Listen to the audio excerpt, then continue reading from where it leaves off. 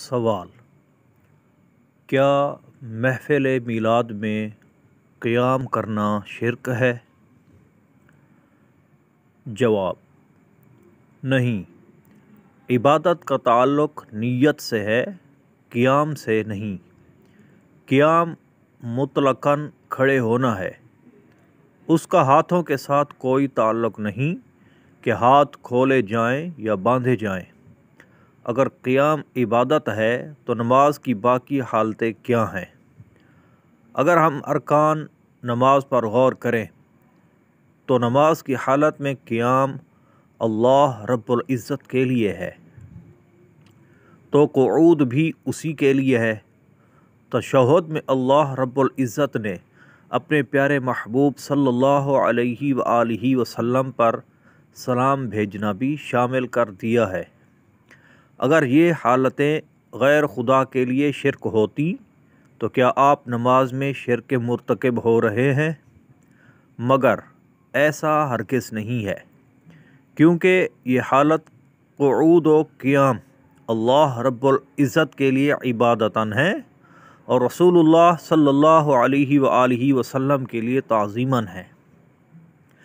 अगर दौरान नमाज़ हालत क़ूद में हुजूर नबी अकरम, नूर मुजस्सम शफ़ी मुअज़्ज़म सल्लल्लाहु अलैहि वसल्लम पर दुरूद सलाम इबादत इलाही शुमार नहीं होता तो नमाज़ से बाहर क़याम, मिलाद, इबादत इलाही किस तरह हो सकता है?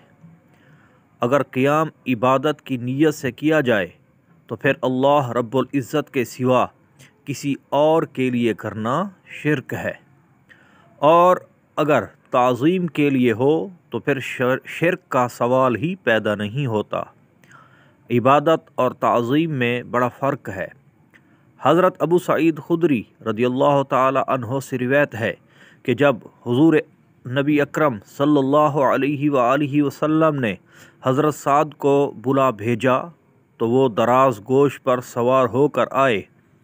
बस जब वो मस्जिद के करीब पहुँचे तो हुजूर नबी करीम वसल्लम ने अनसार से फरमाया ए कबीले वालो, तुम अपने सरदार या अपने से बेहतर के लिए ताज़ीमन खड़े हो जाओ। सही बुखारी, जल्द चार सफ़ा पंद्रह सौ ग्यारह, हदीस नंबर अड़तीस सौ पचानवे। हज़रत सईदना अबू हुरैरा रदी अल्लाह तु फरमाते हैं कि रसूलुल्लाह सल्लल्लाहु अलैहि वसल्लम, हमारी मजलिस में तशरीफ़ फरमा होकर हमारे साथ गुफ्तगु फरमाया करते थे। फिर जब आप क़्याम फरमाते तो हम सब भी ताज़ीमन साथ ही खड़े हो जाते और उस वक्त तक खड़े रहते जब तक कि हम आप सल्लल्लाहु अलैहि वसल्लम को हम आप सल्लल्लाहु अलैहि वसल्लम को अपनी अजवाज मतहरात में से किसी के घर में दाखिल होता न देख लेते। अबू दाऊद जलचार सफ़ा दो सौ सैतालीस, हदीस नंबर सैतालीस सौ पचहत्तर, बहकी शुआबुल ईमान, जल दो सफ़ा नंबर चार सौ सड़सठ, हदीस नंबर उनानवे सौ तीन। फ़तहबारी जल्द ग्यारह सफ़ा बावन अल्हम्दुलिल्लाह, क़ियाम ताज़ीमी, सुन्नत रसूल सल्लल्लाहु अलैहि वसल्लम, और अमल सहाबा से साबित है। सल्लु अलल हबीब, सल्लल्लाहु ताला अला मुहम्मद, सल्लल्लाहु अलैहि वसल्लम।